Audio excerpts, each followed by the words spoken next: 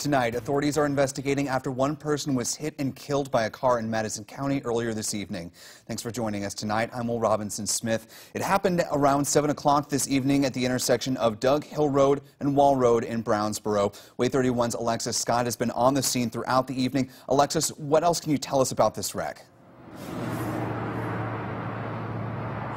Well, right now we do not have a lot of details on this case, but we do know is that Huntsville Emergency Medical Services told me that one person did die right at this intersection right here of Dug Hill Road and Wall Road. Now, there were several first responders on scene, and that does include Alabama State Troopers.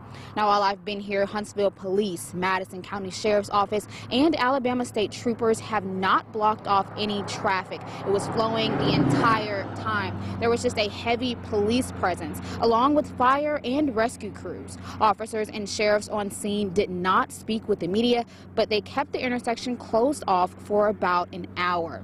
Right now, we do not know if the person, or excuse me, right now we do not know if the driver who hit the person will face any charges, but we'll bring you any updates that we have with that as soon as we know. For now, reporting live in Madison County, Alexis Scott, WAAY 31 News.